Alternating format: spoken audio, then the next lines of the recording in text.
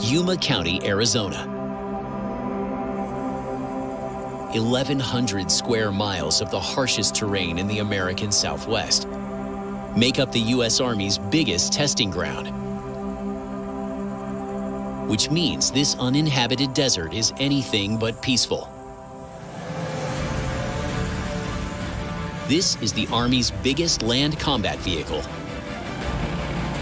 the mighty Abrams tank, known as the Beast. Beast is an absolutely amazing machine. Abrams is the best tank in the world, hands down. Deployed in every U.S. conflict since its introduction in 1980, these amazing machines have stood the test of time. There's no tank out there that is more lethal, more maneuverable, uh, more ability to provide shock effect on the battlefield. This is the ultimate ground combat system. The Abrams M1 tank. Weighing as much as a herd of 20 elephants, this 70-ton combat vehicle is turbo-powered to reach speeds of 45 miles per hour. It carries four crew, the commander, gunner, and loader in the turret, with the driver below in the hull.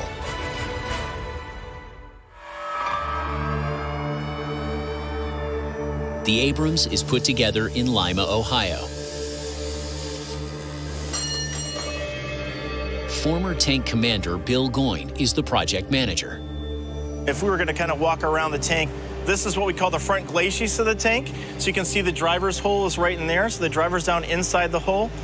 The driver sits kind of a kickback position. He's laid back. Um, he's got kind of motorcycle type controls. Where that sight is up there, you can see those two windows. That's the gunner's sight. So the gunner is the one that we, you know, is primarily engaging with this. It's 120 millimeter smoothbore cannon. Then you've got uh, up on top here, you'll see there's a remote weapon station. Put a 50 caliber machine gun on there. Then you've got this kind of uh, almost looks like R2D2 kind of thing sticking up right here. That's the commander's independent thermal viewer. Over in this hatch here, that's the loader's hatch. That's where you're going to be reloading from because it's kind of the largest diameter hatch on the tank. And then back here, this is where the, uh, the, the turbine exhaust comes out of.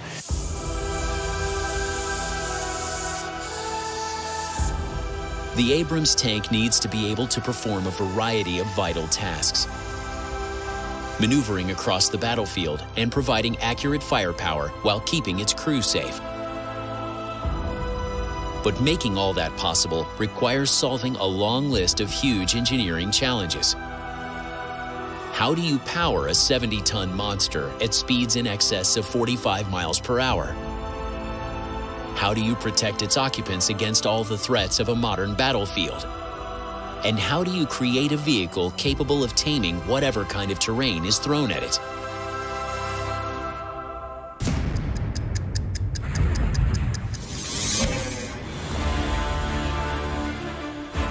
So this is a Mark IV tank, and it's the first mass-produced tank of the First World War. Former British Army Captain Patrick Bury is at the Tank Museum in Dorset, England, to find out how these machines came into existence. Now, there's three basic things in tank design which this actually encapsulates. Protection, mobility, and you got firepower. And all those design elements are still seen today in the design of modern tanks. It was the brainchild of William Tritton, Walter Wilson, and draftsman William Rigby, who came up with this entirely new type of war machine. World War I saw a deadlock on the Western Front, with both sides dug into their trenches. Crossing no man's land in between was seemingly impossible on foot. So the British government asked this engineering trio to devise machines that would allow troops to advance across this torn up terrain. And crucially, get them over the enemy trenches. And this was their solution the British tank, a tracked and armored fighting machine. The tracks are really an amazing design for the time because they spread the weight and they also are able to deal with the mud.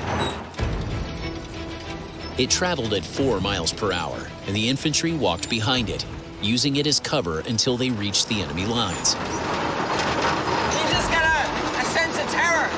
If you were in the trench, you'd never seen a tank before, one of these was unleashed against you. Just slowly trundling towards you, firing its weapons. There's nothing you can do about it.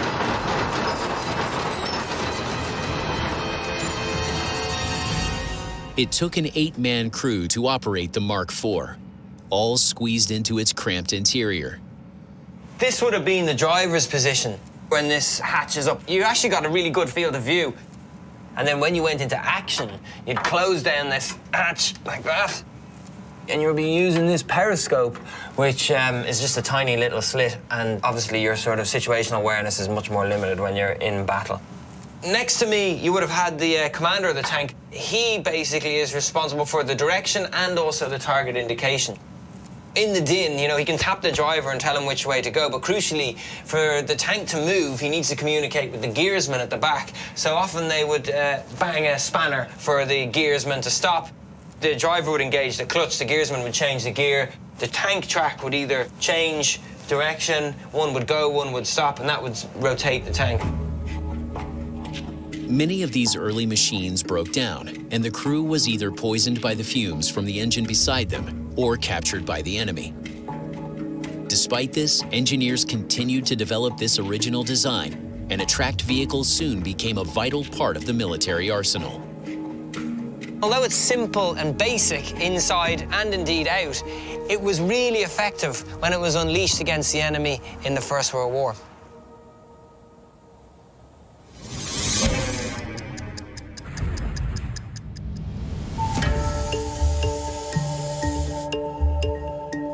In Lima, Ohio, former tank commander Bill Goyne and his team are standing on the shoulders of those early pioneers to build the most advanced tank ever made.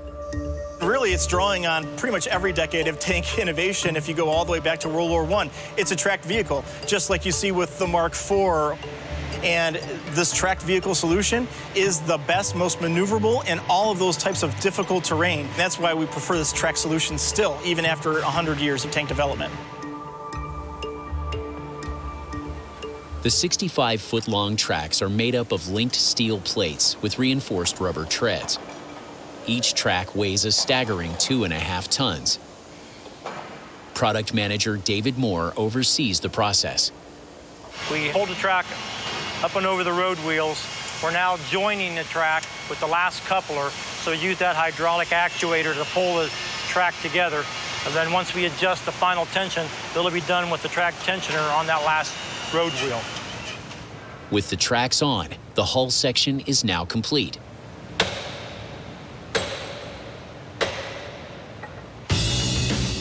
Once fully assembled, those tracks mean that nothing can get in the beast's way. It's a very confidence-inspiring feeling that you have when you're inside the tank.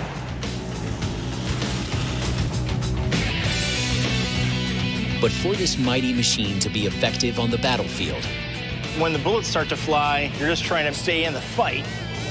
its crew has to be able to defend itself. It's a life and death situation out there, and you want to be able to engage that target before it has a chance to fire back at you. It's a huge responsibility for project manager Bill Goyne and his team. There's no second place when it comes to the battlefield, right? Uh, you either are the winner or you're in trouble. So in the back of our mind, there's always the tank crew. Since its inception, the weaponry on the Abrams has been continuously improved and updated. Its first major modification in 1985 was replacing a 105 millimeter cannon with a 120 millimeter model. Its secondary weapon is a 7.62 millimeter M240 machine gun. And fixed to the highest point of the tank, there's a 50 caliber M2 machine gun.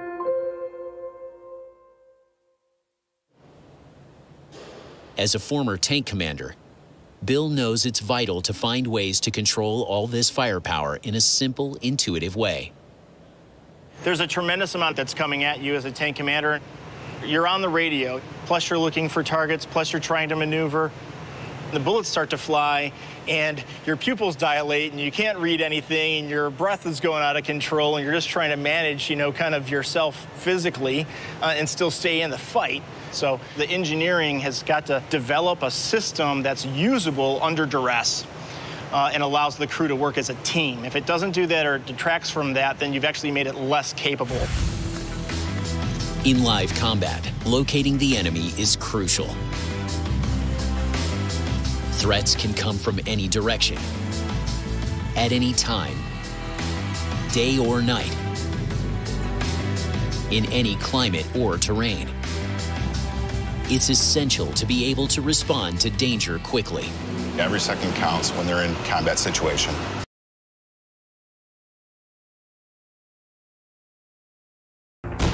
For the crew operating an Abrams M1 tank, a matter of seconds can be the difference between life and death. Abrams Test Chief Greg Duda knows the importance of rapid target acquisition. It's a life and death situation out there, and you absolutely want to be able to detect, recognize, identify the target, and engage that target before it has a chance to, to fire back at you. Coming up with ways to locate and defend against surrounding threats from inside a tank is a huge challenge for the current Abrams team, and one faced by engineers of the past.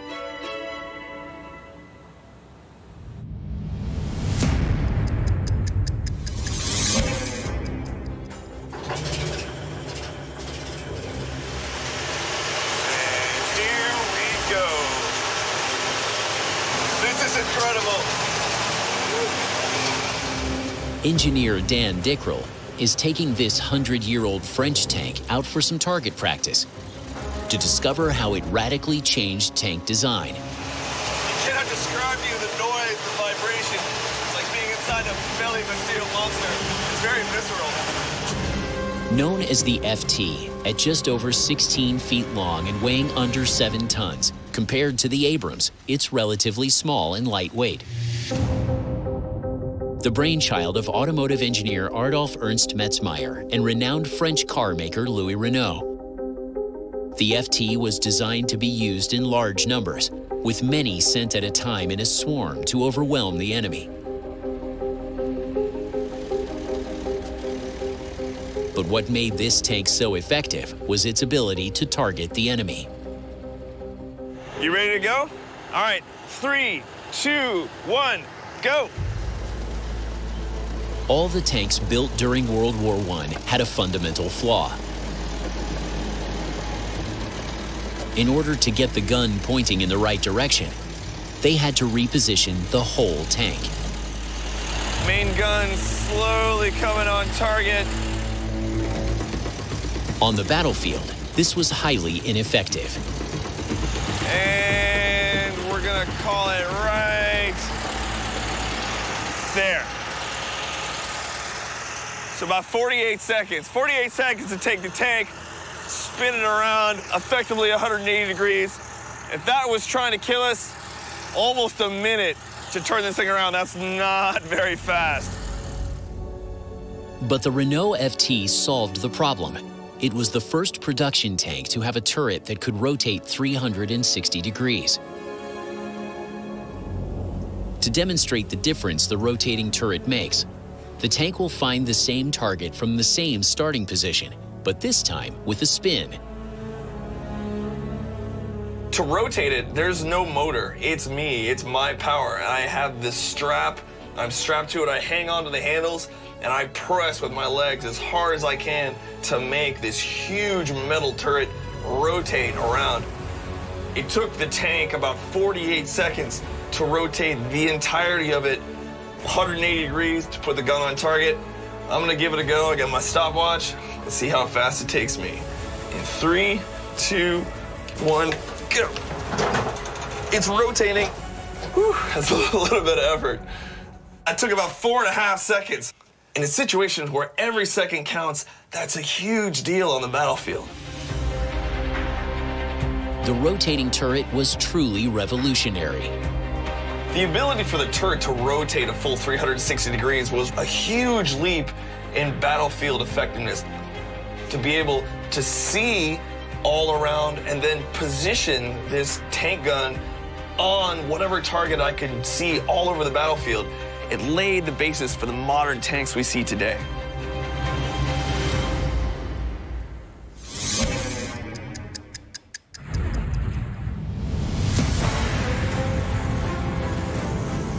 The 33 ton turret of the Abrams tank weighs about as much as five Renault FTs.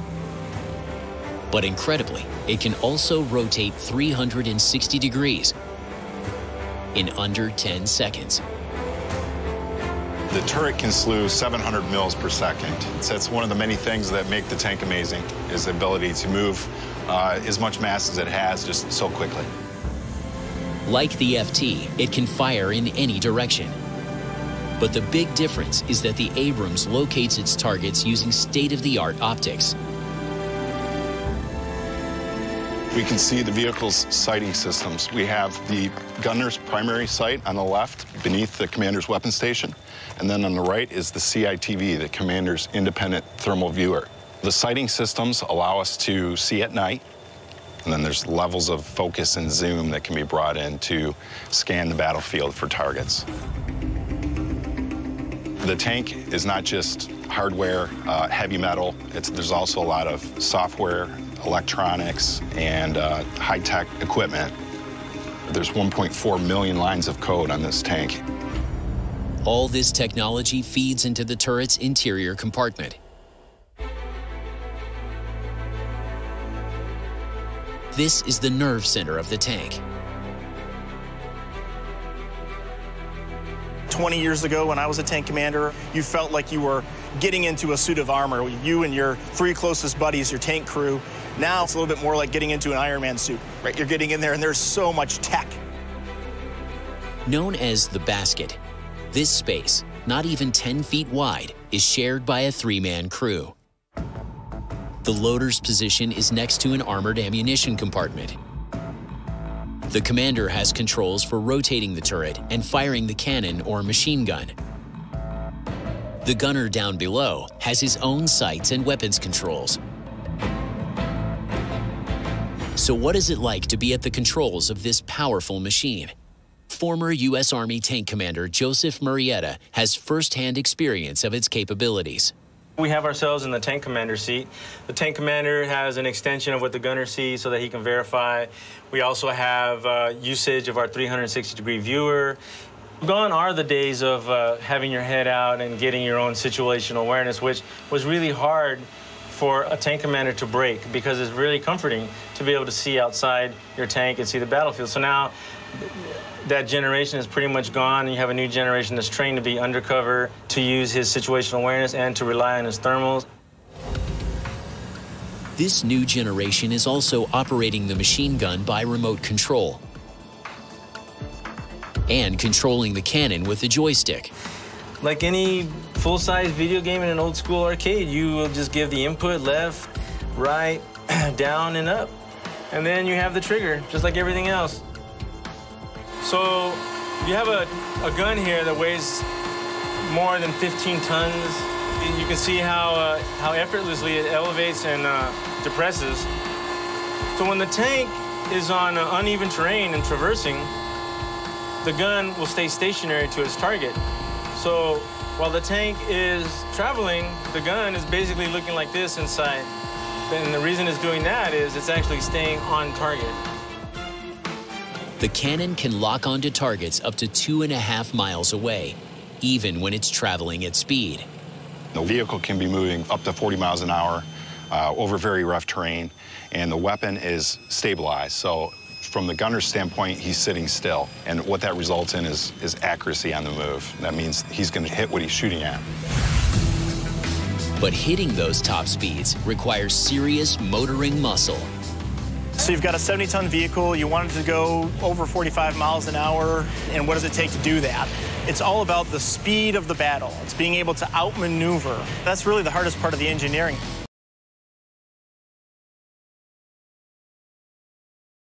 Red, this is Red 1. Engage tanks. Fire when ready. The iconic Abrams M1 is the U.S. Army's main battle tank.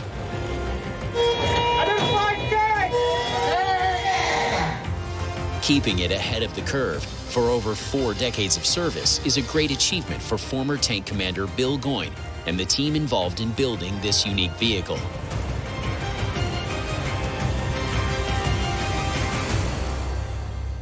Even though from the outside it doesn't look like it's very different than what we fielded, you know, 40 years ago, um, on the inside, it's completely different. The most updated electronics you're going to find on the battlefield are stuffed inside of this. A tank is effectively two separate machines in one. The turret controls sights and weaponry. The hull is its set of wheels. Almost 33 feet long, the rear is elevated to house the engine, with the driver's compartment at the front. The turret and the hull are worked on separately on two giant assembly lines, overseen by David Moore. When the turret finishes at the end of the line, the turret then gets its final gun shield, the turret basket guards on. At that point, we'll load it onto the finished hull.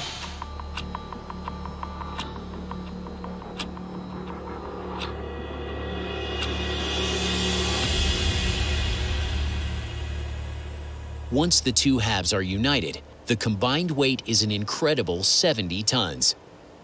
This one looks like it's about ready to go for a ride. So how is it possible to get this massive machine moving at high speed? You've got a 70-ton vehicle, you want it to go over 45 miles an hour, and what does it take to do that? That's really the hardest part of the engineering, is getting that balance right. You need to have something that's giving you all the power that you need, but as light as you need it to be. Designing an engine that's heavy-duty but lightweight seems like an impossible mission. Solving it requires imaginative engineering from the past.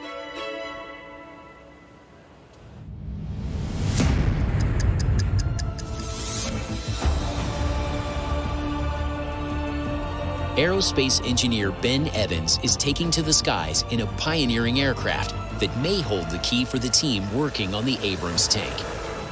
Wow. Mike Cattell owns this iconic 1963 Alouette II helicopter. The Alouette II helicopter really became one of the most influential helicopters in the middle of the 20th century. It set the trend for modern-day helicopters. The first helicopters were powered by piston-driven engines like those used in cars. And as the aircraft grew in size, so did their engines. But ambitious helicopter designers struggled with this weight problem. They wanted to make helicopters bigger and more powerful, which meant bigger engines. But increasingly they were finding that as helicopters got bigger, more and more of the power from those piston engines was actually being used to lift the weight of the piston engine and not the thing the helicopter wanted to lift, which was the cargo or the passengers. They faced the same problem as the team behind the Abrams tank. They needed an engine that was powerful but lightweight. In 1950s France, one man came up with the perfect solution. Joseph Szydlowski was a Polish-born engine designer who pioneered the use of the turboshaft gas turbine engine in helicopters. The Alouette 2 was the first mass-produced helicopter to use the new engine. So basically what we've got here is a jet engine, but instead of generating thrust, we're generating mechanical power down a shaft. This is one of the air intakes, and there's another one on the other side of the engine. It's sucking air in at the front of the engine here, and that air passes into a compressor. That compressor is squeezing the air, increasing its pressure and its temperature before it passes into the combustion chamber. So in this region here, fuel gets added and ignited, and then you end up with lots of hot, high-pressure exhaust gases which need to escape somewhere. And they come out of the back of the engine through the exhaust. But unlike a jet engine, where those exhaust gases are accelerated into a jet to push the aircraft forward, what we have inside here is a turbine. And that turbine is connected to a shaft running down the center of the engine. You can actually see the shaft coming out the front of the engine here into this gearbox system here, converting that power and sending it vertically upwards into the propeller system. The key elements of the turboshaft engine are the compressor, which provides the pressurized air for added turbo power, and the turbine, which turns the shaft that spins the rotors. Although the engine weighs just 315 pounds, it generates 530 horsepower. So this engine system is revolutionary because you can generate more power for less weight than the conventional piston engines that were being used before the Alouette 2. This makes it perfect for something like a helicopter where you need a lot of power, but you really need to keep the weight of the aircraft down as low as possible. Delivering maximum punch for minimum weight, the turboshaft engine took helicopter design to new heights. The turboshaft really was a game changer, and what this allowed designers to do was to build bigger and more powerful helicopters.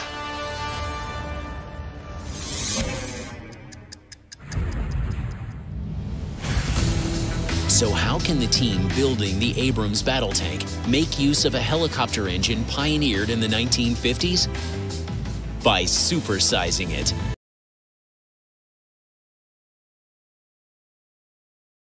Engineers behind the U.S. Army's premier fighting machine, the Abrams tank, are taking inspiration from 1950s engineer Joseph Szydlowski and his innovative helicopter engine. This gargantuan gas guzzler is a 1,500 horsepower version of Szydlowski's gas turbine turboshaft.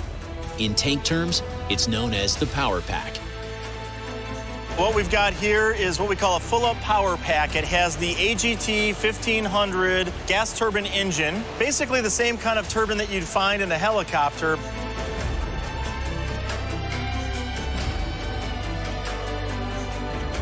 So this will kick out the 1500 horsepower that we need to move the 70-ton beast. At 1.25 tons, it's a whopper. But it's the optimal power to weight ratio. A diesel engine with the same output would weigh twice as much. So the turbine is actually about here. It's very small. So you have the air that's coming in through where this kind of red bag is, goes in through a compression stage just like you would find in any other jet engine. We've got our turbine. The turbine is spinning. There's a shaft that goes right through here and interfaces here into the transmission. And this uh, transmission here, all that power gets translated out these final drives that attach to the sprocket, drive the track of the tank.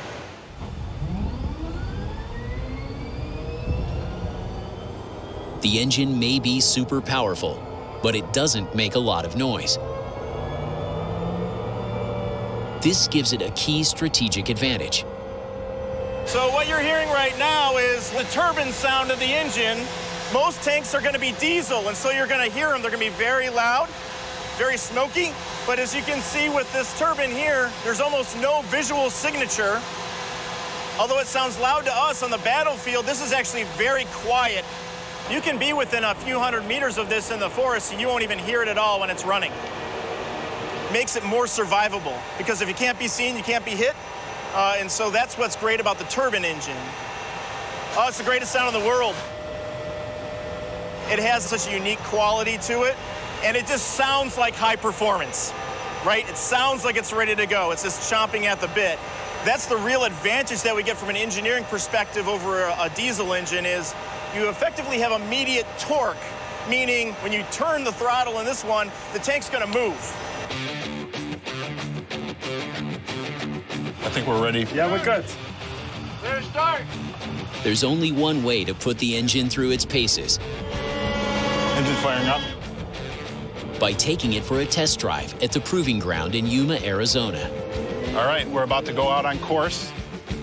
Today, Test Chief Greg Duda is taking the Abrams off-road. When we do testing out here, we test on all the road surfaces. We're ready to roll.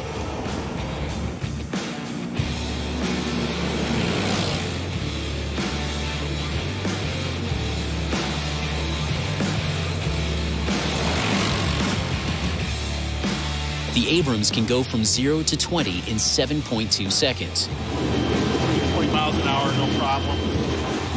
Open her up a little bit. and has a top speed of 45 miles per hour. It's quite amazing when it can be uh, propelled this, this fast. It's actually a pretty smooth ride. We sure are riding in an Abrams. The engine can run off most types of fuel. And although it gets less than a mile to the gallon, It gives the tank the turbo force it needs. It's always a good day to be out here and experience the power of the Abrams. But before it's sent into combat, the number one priority for the engineers is working out how to keep the tank crew safe. How can we make this vehicle more survivable? And that's a real challenge for us from an engineering perspective. It's a challenge Supervisor David Moore does not take lightly. As the product manager, I oversee them all the way through the process to when they're delivered. All these tanks uh, I consider my babies.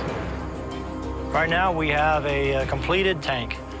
Gave them a final coat of paint and then put it onto a rail car. And once they get a train load, we ship them. It's quite a sight when you see these tanks line up. We don't line up till you get a row of 24 of them or more. It's pretty impressive. Before they're sent into the field, each one has to undergo a series of vital tests at the military proving ground in Yuma. Let me know when you're ready for a round of load.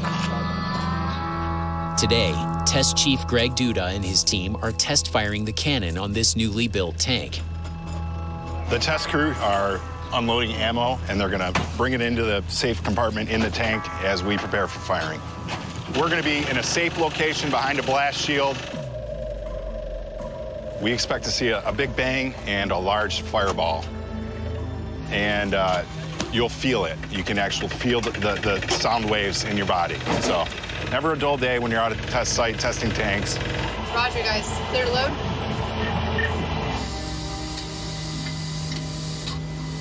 What they're doing right now, the weapon's been loaded. They're going through all their weapon checks, and they're going to go ahead and fire the weapon. Roger. Clear to fire. They get the on-the-way command. There you go.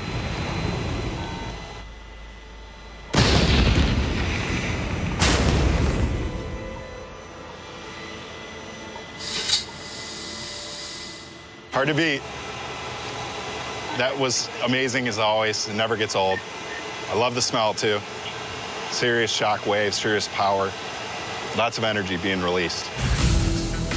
But major firepower is just half the battle. The tanks must deliver force. They also have to withstand it.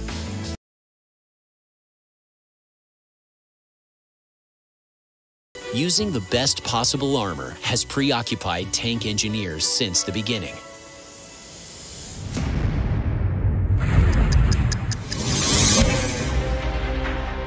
Originally, tanks were all made from steel plating. But post World War II, as weaponry became more powerful, new armor had to be developed. And when a new type of anti tank weapon appeared, for tank engineers, once again the pressure was on. Firing! Three, two, one! wow, that was a big bang. Physicist Andrew Steele is at a secret location in the British countryside to find out what they were up against. This steel represents the armour plating on our tank. We've got four two and a half centimetre thick steel plates. There's 10 centimetres of armour in all. And as you can see, there's a pretty big hole in that. And if we go through number two, there's a hole. Number three, there's a hole on both sides. And finally, number four, there's a pretty big hole in that one too. It's gone straight through so what sort of weapon could blow a hole in 10 centimetres of steel? Well, I've got a little model of one here. It's called an RPG, or rocket-propelled grenade. In here, you've got your high explosive crammed in the back, and when that explodes, it crushes this inverted copper cone. It turns it into an incredibly hot, thin stream of copper metal, and it just cuts through it like a hot knife through butter. Engineers had to find a way to defend against these new weapons. For inspiration, they turned to German ballistic scientist Manfred Held and a technology he pioneered in the 1960s.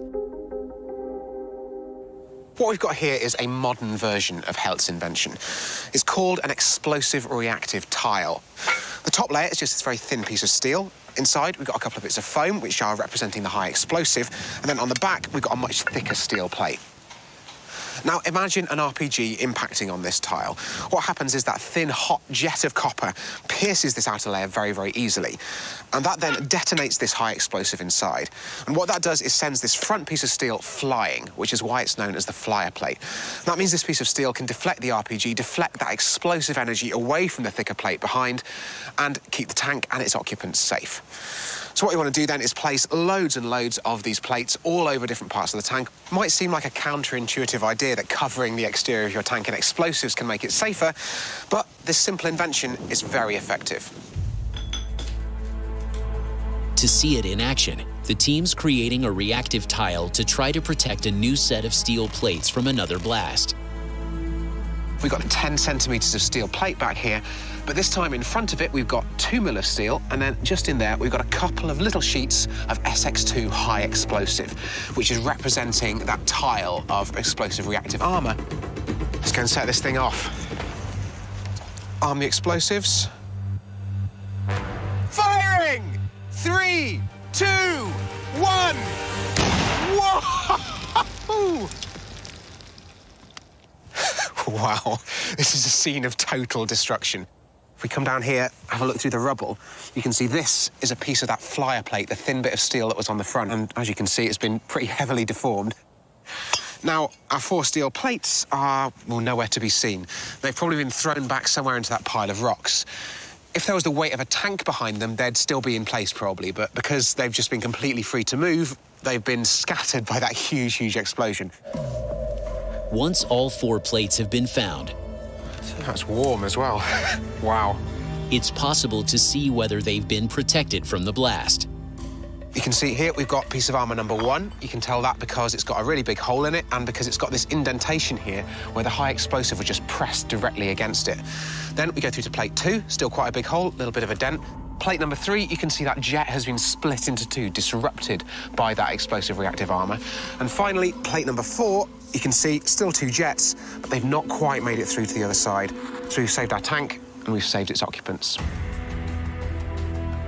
The success of the explosive reactive tile turned armor design towards a totally new concept. Fighting fire with fire. Held's invention was a real game changer. Just by adding a thin layer of explosive and a thin layer of steel on top of existing armour, you could massively improve the safety of the crew inside. And with some strategic placement and 21st century updates, Held's pioneering technology just might help the engineers behind the Abrams tank pull off the impossible.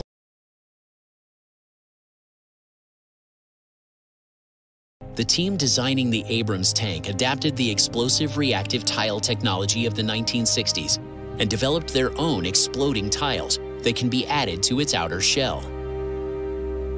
The reactive armor on the Abrams mounts to the skirts, so that the skirts uh, are replaced with a, a, very similar but different version, and then the tiles, they're called, are, are slid all the way down the hull. That provides pr protection uh, for the hull, for the tank itself, and also the driver. The Abrams reactive armor tiles, known as ARATs, are fitted to each side of the tank. Flat box tiles are attached to the hull and turret. Then, an additional layer of curved tiles are hung over the top of the hull, just like Held's original invention. If they are hit by an incoming shell, they detonate. It is an incredible technology. We do ballistic testing on, on the performance of the tiles themselves, and, and, what it does is it creates just a tremendous explosion and very loud noise, not unlike the weapon firing. I'd say the ARAT is, is critical for certain threat environments when you're operating the vehicle. Having that protection increases uh, the chance that the, the tank is, is going to survive any time it gets engaged. And with the addition of the ARAT, the Abrams tank is nearly unstoppable. There is no safer place to be on the battlefield than inside of this vehicle. The things that can be updated have been updated, and the things that worked really well, no reason to break them. That's why we're sticking with this tried and true design.